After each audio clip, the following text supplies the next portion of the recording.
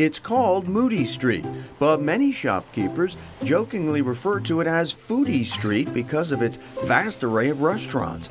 You can eat fancy or ethnic on this Waltham Boulevard or chow down, say, on classic all American comfort food at In a Pickle restaurant. One of my favorites is the New Jersey Sloppy Joe, and that's kind of from where my roots are. It's a triple decker, rare roast beef, coleslaw, Russian dressing, Swiss cheese, and it's huge huge. Not many people can, can finish that. This eatery got its quirky name 14 years ago because owner Tim Burke was literally in a pickle, struggling to scrape enough money together to launch his restaurant. No worries today, as this place is now a Moody Street magnet pumping out eye-popping omelets, French toast, and pancakes. We like to think it's really big here. We like to make it Instagrammable for everybody so they can post it online. If they want to follow us, it's In a Pickle Restaurant. You can find us there. Burke says In a Pickle reflects the spirit of Moody Street. Unpretentious, eclectic, tried and true. I would say 80% of our customers are regulars so that have been here before. We love to hear about people's lives. We like to see their kids go off to college. We like to see our students here get full-time jobs in the area.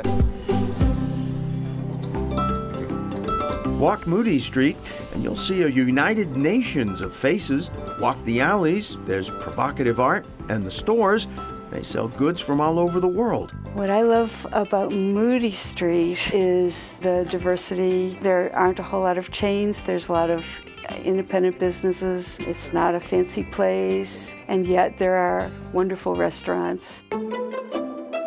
Denny Meyerson opened her whimsical gift store Gourmet Pottery way back before Moody Street was a thing, and nearly 20 years later, it's now a must stop. Chock full of enticing art and kitsch, Gourmet Pottery stays open until 10 p.m. weekends. Restaurant diners can stroll the store pre or post meal to buy gifts or just have a chuckle. My favorite is when they come in and bring a friend and they say, This is my favorite shop. And that's really good feedback. the newest restaurant on Moody Street is this festive taqueria called El Rincon. Opened by the owners of the adjacent Moody Street Deli and the back room, this cozy eatery serves up the street food of Mexico.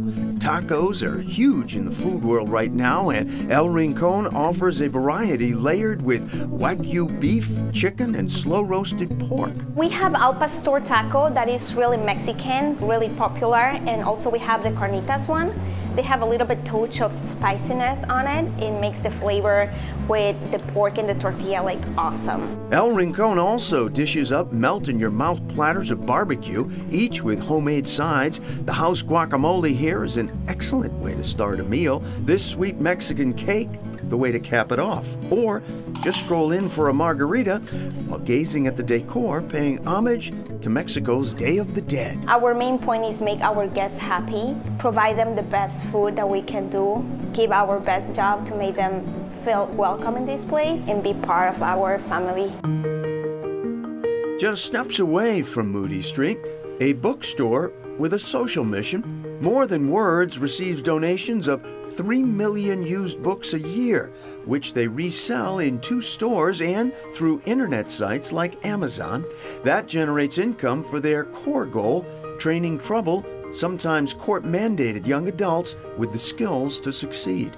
We really believe and we've seen that an actual job where people get paid to do that job gives them a sense of purpose, sense of direction and a sense of motivation.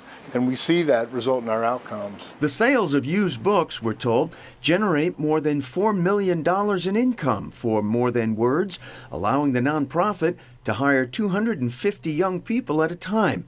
Young people like Isaiah. When I first came here, I was dealing with homelessness. Me and my mom were in a homeless shelter. Now I, I live with my girlfriend, but I pay rent. Because I'm able to pay rent, I have a steady income. This program is really helping me a lot. For 18 year old Cassandra, it's been equally transformative. It'll help you learn life skills, your next job, your career. I found a purpose here. Donating books is easy. They're accepted at More Than Words bookstores here and in Boston South End, or drop them into collection boxes located all over Massachusetts. And by repurposing a book, a young life is given purpose. More than 90% of our young folks are what we call productive, two years beyond more than words. So that means that they're working and or in school for at least 30 hours a week. That's a big deal. I wake up more happy. I wake up and I think that I have some place to go other than running the streets. Now I see that working is important. Having a career is important. I just want to be successful like anybody else. Great program. And back to El Rincon de Moody. The restaurant is actually temporarily closed, mm-hmm. but the owner, Joshua Smith, says it is coming back after a few adjustments. And back to Gourmet Pottery's Denny Meyerson. She calls herself, I love this, a hunter gatherer because she goes out and finds all these sort of eclectic items, which are represented in her store, obviously. And in many ways, that's Moody Street. It's a very international place. Um, there's lots of different foods, there's lots of different shops. They've got everything from wedding dresses to Star Wars collectibles to carpet stores.